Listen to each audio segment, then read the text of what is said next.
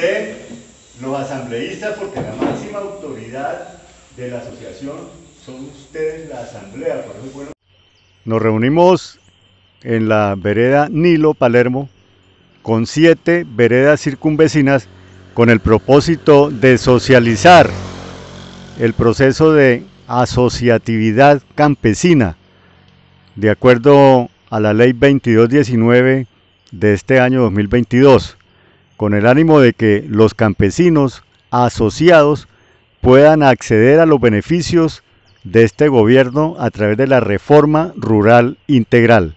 Este propósito lo estamos cumpliendo en todo el departamento del Huila y la próxima semana estaremos nuevamente en Nilo ya realizando el proceso de constitución de la Junta Directiva de la Asamblea para posteriormente elaborar estatutos y aprobarlos y finalmente hacer la respectiva, el respectivo reconocimiento en la Cámara de Comercio y en la Secretaría de Desarrollo Agropecuario del departamento. El día de hoy asistimos a este importante encuentro, personas como que hacen parte del, gremio campesino, sector cafetero, sector cacaotero, del gremio de productores agropecuarios como productores ah, eh, pecuarios de huevos de campo, eh, personas que cultivan también, en este caso, hortalizas. Queremos es poder conocer la nueva normatividad para poder acceder a los recursos de la nueva reforma agraria que pues se ve a venir. Entonces, pues es una invitación a todas las personas de nuestra comunidad para que se acerquen y hagan parte de esta iniciativa que pues hoy ha dado inicio.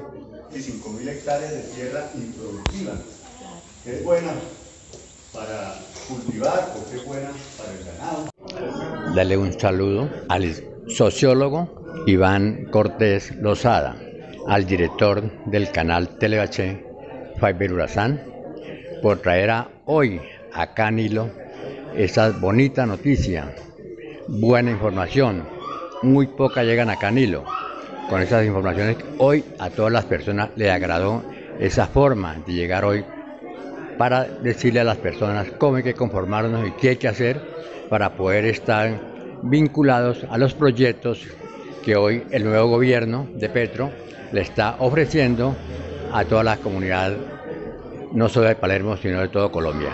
Se socializó el marco jurídico contemplado en la Constitución Política y en la Ley 2219 de este año y por supuesto soportado en la línea metodológica del acuerdo número uno del proceso de paz.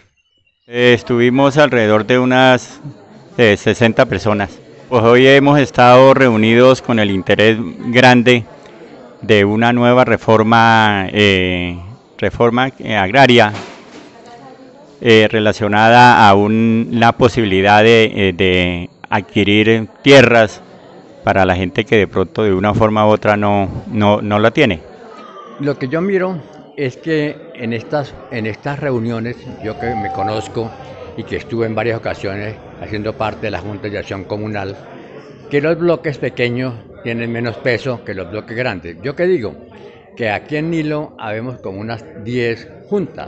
¿Por qué no conformamos una sola junta que van a ir a la gobernación o van a ir a donde se solicite algún proyecto que vamos 300 y no que vamos 5 o vamos 10, por lo menos en Alto Nilo que somos 14 o son 14 de la Junta. Hagamos un solo bloque que tenemos más peso y nos escuchan. De los asambleístas, porque la máxima autoridad de la asociación son ustedes, la asamblea, por eso